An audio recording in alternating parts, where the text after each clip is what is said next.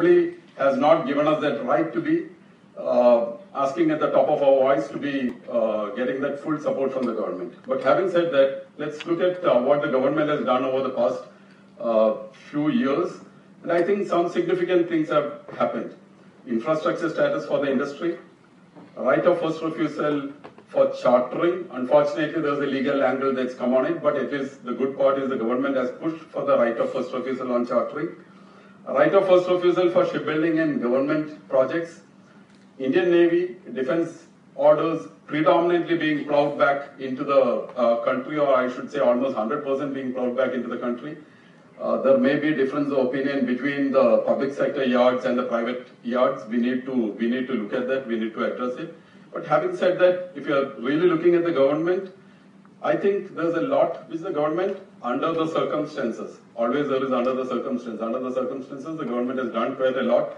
So uh, we can't, to use the word, we can't really go and crib about what the government has actually uh, done. Import rationalization. Today, like uh, when 30 years back, uh, when I joined the industry, to get a uh, equipment imported through the customs gates, uh, either through a port or a airport, Today it's much, much more simpler. I should say it's much, much more simpler. Let us be clear. So the, the things have improved.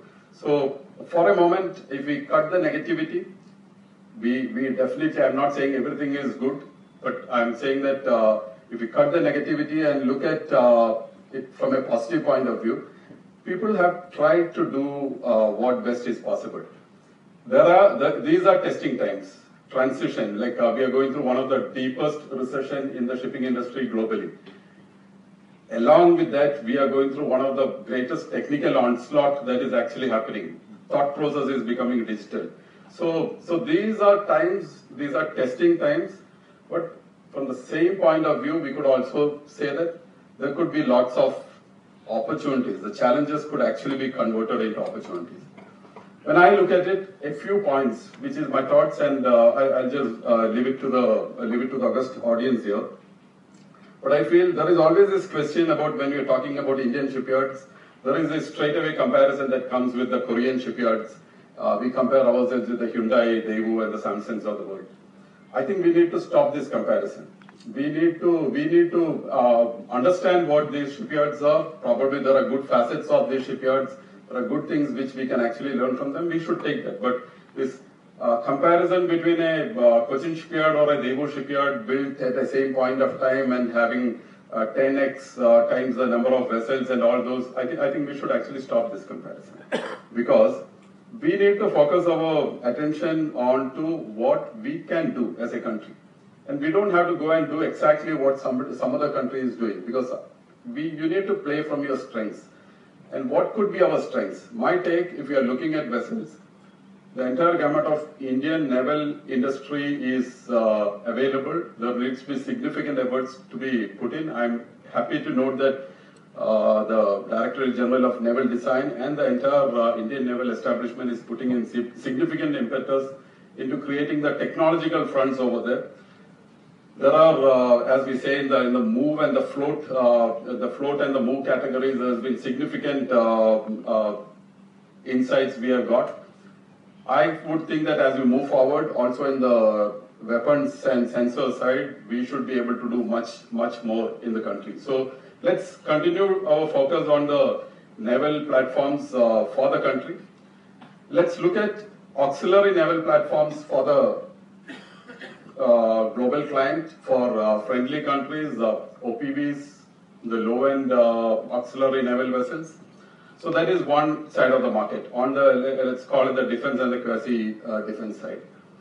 On the commercial side, let's not look at everything together. I, I could see uh, in, the, in, the, morning, uh, Mr. Rishi Narasimhan had uh, mentioned, let's look at vessels below 50,000 tons. I would also personally feel that let's look at vessels something like a under 180 meters, something like that, you know, because these, this is a vessel which we can handle much better. So let's handle vessels which, and, and vessels which could actually come in a little bit of a series. Because vessels around 180, 160, 180 meter long, if you're talking about an MR tanker or a, or a uh, uh, chemical tanker of, uh, let's say 30,000 uh, deadweight chemical tankers, these vessels get ordered in, uh, in series these probably would be would be good for India. Let's not look at the absolute uh, like uh, classical merchant vessels like the like the like the large bulk carriers or the large container ship or the large tankers. But let's go a little bit niche because India is where we can bring in more of engineering. So let's look at a little bit more of engineering heavy vessels. So I, I should say a bit of a niche. Uh, we can look into East Europe, what East European yards are doing well. Like uh, with all these uh, difficulties, there are there are still yards in East Europe which are which are doing reasonably okay. So those are type of vessels which we could actually look at. And let's insist on quality. Let's actually say that India can actually deliver quality vessels. So we need to identify our market, maybe a bit of engineering heavy niche vessels, medium to, not, not the large ones, but the medium sized vessels, emphasis on quality. Point two, strong emphasis on design in India.